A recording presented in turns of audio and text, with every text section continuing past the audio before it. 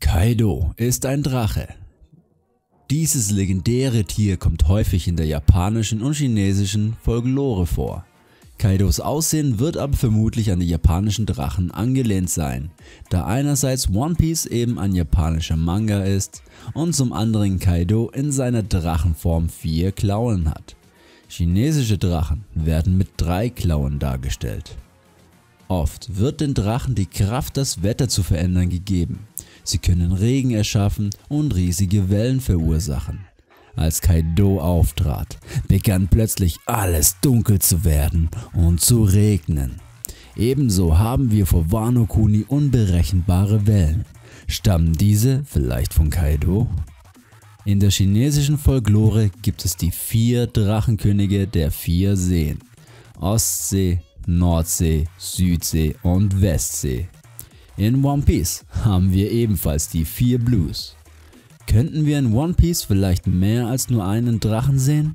Zum Beispiel könnte Momonosuke an den Drachen Feilong angelehnt sein, welcher auf Wolken ritt, genauso wie es Momonosuke tat. Oder auch Dragon könnte der Drache des Ostens sein und somit würde sich seine Kraft erklären. Vielleicht gibt es mehrere Drachenfrüchte mit verschiedenen Modellen. Kommen wir aber nun wieder zurück zu den vier Drachenkönigen, welche folgendermaßen bezeichnet werden. Der Azurdrache des Ostens, der rote Drache des Südens, der weiße Drache des Westens und der schwarze Drache des Nordens. Oft wird noch ein fünfter Drache hinzugezogen, der gelbe Drache, und zusammen bilden sie die fünf Formen der höchsten Geschöpfe. In der chinesischen Mythologie ist der größte Rivale des Drachen ein Tiger. Werden wir in Zukunft noch einen Kampf von Kaido und Fujitora sehen?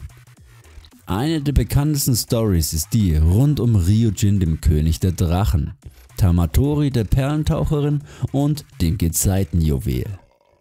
Fujiwara no Kamatari war der Gründer des starken Fujiwara-Clans. Nach Kamataris Tod sendete der Tang-Dynastie-Kaiser, welcher Kamataris wunderschöne Tochter zu Gemahlin bekam, drei Schätze nach Japan, um seine trauernde Frau zu beruhigen, indem er ihren Vater damit ehrte.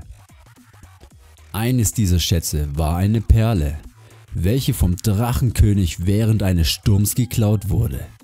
Kamataris Sohn Fujiwara no Fuhitu suchte nach diesen Perlen in einem isolierten Land, wo er eine wunderschöne Perlentaucherin namens Tamatori traf und heiratete. Sie gebar ihm einen Sohn. Tama, welche voller Liebe für ihren Sohn steckte, schwörte zu helfen, die gestohlenen Perlen zu finden. Nach vielen Fehlschlägen schaffte Tama es, als der Drache und andere groteske Kreaturen, welche es beschützten, eingeschlafen sind aufgrund von ihrer Musik. Nachdem sie den Schatz bekam, wurde sie von diesen Kreaturen verfolgt. Sie schnitt ihre Brust auf und versteckte die Perle in ihrem Körper. Das Blut aus ihrer Brust färbte das Wasser rot und so gelang ihr die Flucht. Aber aufgrund ihrer Verletzungen starb sie, wurde aber für immer verehrt für ihr selbstloses Opfer für ihren Mann Fuhitu und ihren Sohn. Doch was sagt uns diese Story rund um One Piece? Kaido könnte an Ryujin, dem König der Drachen, angelehnt sein. Die Perlentaucherin Tamatori hat eine Namensverwandtschaft mit, na, ihr habt's erraten, Otama. Mit dem Schwert Jusui haben wir schon einen Nationalschatz von Wano Kuni gesehen. Dieser könnte angelehnt sein an den Nationalschatz Japans, dem Kusanagi-Schwert. Dieses Kusanagi-Schwert ist in der Legende im Besitz von Yamato no Orochi.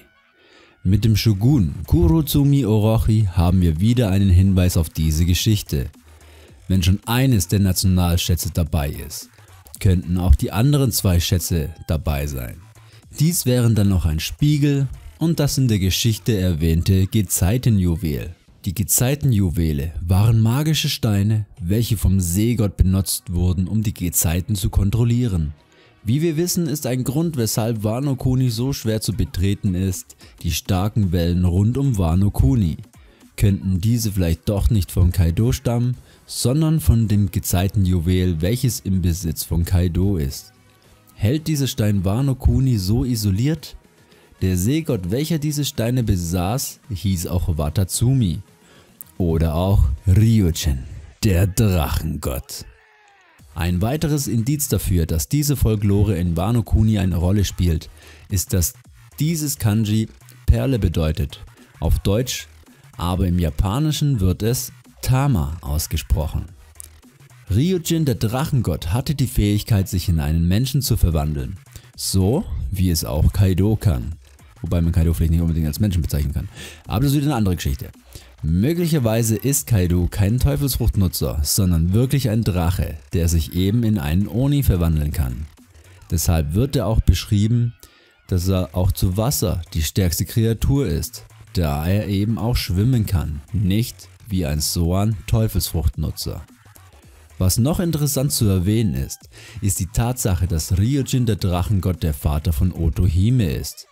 Der Palast der Fischmenscheninsel hat eine riesige Drachenstatue auf dem Dach. Ebenfalls hat die Dachspitze zwei Hörner. Liegt dort möglicherweise eine Verbindung? Könnte es sein, dass Drachen ursprünglich aus dem Wasser stammen, vielleicht aus dem Ryugu Palace, bevor sie zu Teufelsfrüchten wurden? Oder ist Kaido wirklich schon so alt und stammt eigentlich von der Fischmenscheninsel?